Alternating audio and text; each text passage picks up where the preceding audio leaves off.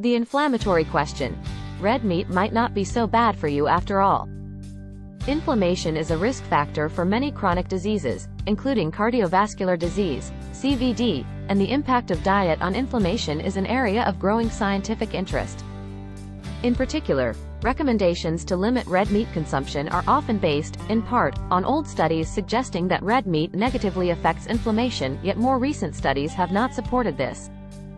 The role of diet, including red meat, on inflammation and disease risk has not been adequately studied, which can lead to public health recommendations that are not based on strong evidence, said Dr. Alexis Wood, Associate Professor of Pediatrics Nutrition at the USDA, ARS Children's Nutrition Research Center at Baylor College of Medicine and Texas Children's Hospital.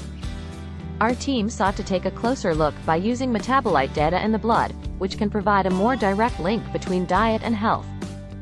Methodology and findings. Wood and her team analyzed cross-sectional data captured from approximately 4,000 older adults participating in the multi-ethnic study of atherosclerosis, MESA, and recently published their findings in the American Journal of Clinical Nutrition. Cross-sectional data is a useful source of evidence on how diet affects health. It uses data that is observed with free-living people, without attempting to influence their usual lifestyle.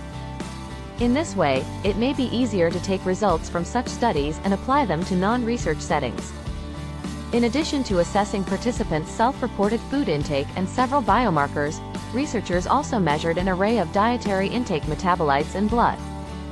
Plasma metabolites can help capture the effects of dietary intake as food is processed, digested, and absorbed.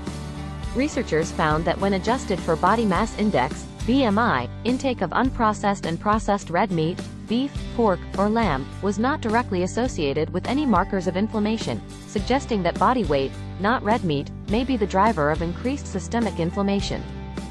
Of particular interest was the lack of a link between red meat intake and C-reactive protein, CRP, the major inflammatory risk marker of chronic disease.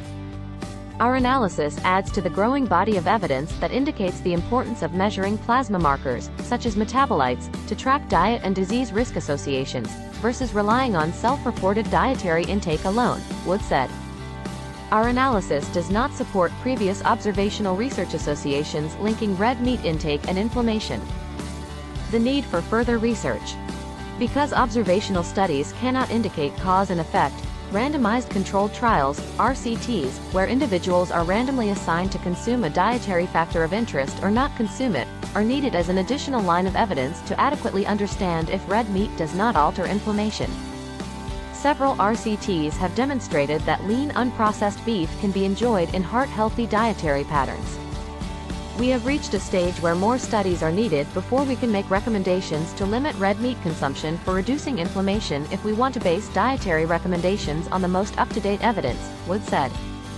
Red meat is popular, accessible, and palatable and its place in our diet has deep cultural roots.